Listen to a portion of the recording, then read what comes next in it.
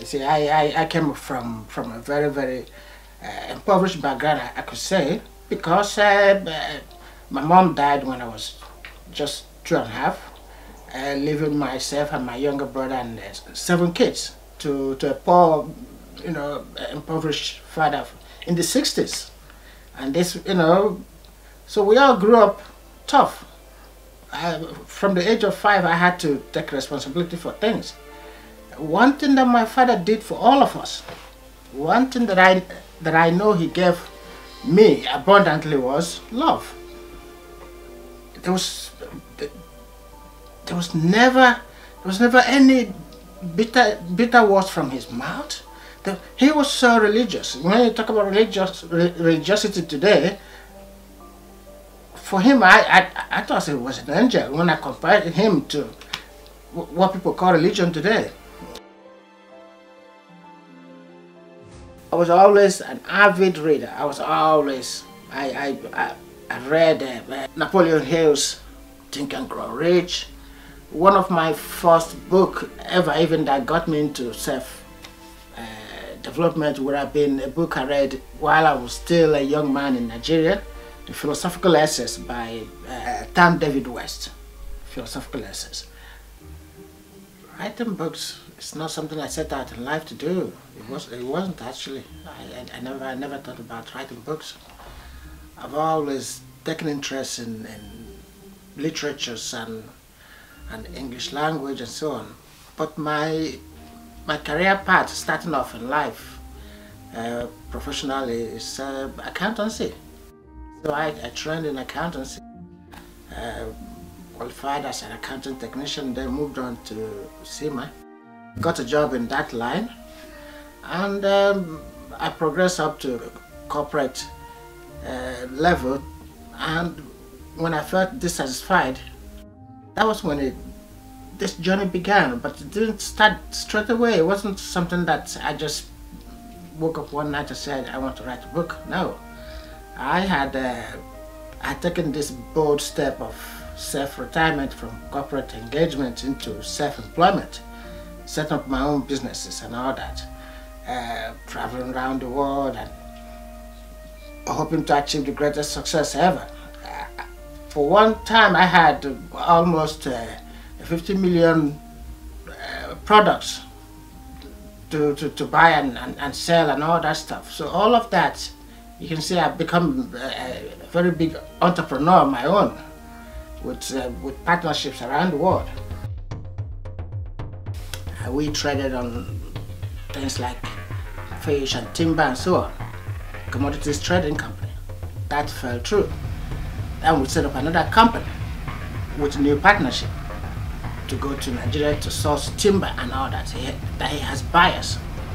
So I went into partnership. We all put up, you know, we all made all our own commitments, threw everything into it, and went sourcing timbers we brought almost four, four 40 foot containers into Ireland.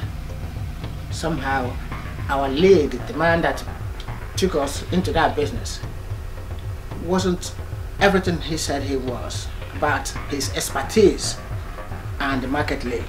So the, the products we brought in were not of the standard, and we could not sell. That broke me down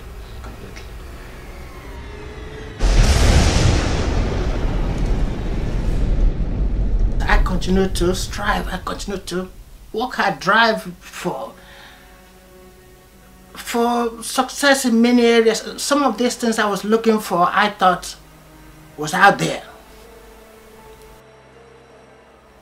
But most of my intentions and actions were not in alignment with my subconscious self.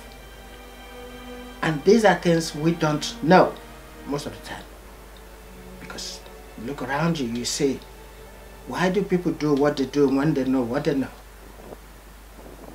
Why do we have all this education, all this information, all these ideas all over, and yet we fall short in character?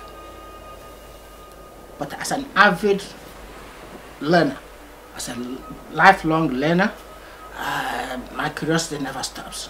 I never stop questioning, never stop learning things, never stop reading more books.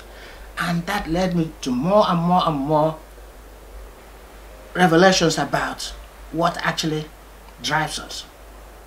The Sixth Sense came about when I stumbled into the books of uh, Dr. Emmett Fox, uh, Joseph Murphy, and, and uh, Neville Goddard, and all the all all the all the books out. I, I read more, I studied more, and then I realized that there is something more powerful. There's something more powerful than everything else that we can see by our own eyes, and that is our subconsciousness. And that subconsciousness happens to be the sixth sense because what drives us outwardly, our objective self, our consciousness, is actually made of five senses. What we see, what we smell, what we touch, what we, what we taste. Once we begin to see ourselves as part of everything, then we begin to take responsibility for our actions. Once we're able to change our inner being towards positive, towards things that matter, that make sense to us, that makes sense to everybody, particularly embracing and encapsulating everything into love. The most powerful thing ever that is, that is the subconscious response more to is love. Empower, empower your sixth sense with love and responsibility. Everything else will fall into place. Everything else. Now the sixth sense is, is, is packed with tools, tools that can enable anyone who chooses to commit to it. Tools of affirmation that can help us redirect and re-engineer the subconscious and make us live more fulfilling life, much happier life, abundant life. Anyone, anyone that consciously, with an open mind, commits to the tools and concepts in this book within 30 days and for maximum effect 90 days that person would have 360 degree turnaround in their mental being. The paradigm shift will, the, the, paradigm shift will be incredible. A situation whereby a situation that will arise that the person anyone that uses the concepts and the tools in that book will become more spiritually evolved. Will become will have clarity of purpose. In that book. And it's written in simple language. Very, very, very, very simple language.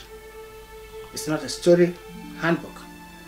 It's a book that one can open any page. Any page. Any line will tell you something, will resonate with something that can help someone grow and be better. That's the purpose of that book. One thing for sure, fear will be driven out and love will set in.